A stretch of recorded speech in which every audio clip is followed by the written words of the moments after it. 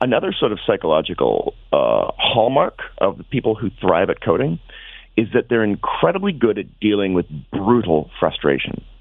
Uh, because everything with software is always broken. I mean, literally, you write something and fi- try and run it, and five minutes later, it just it's not working.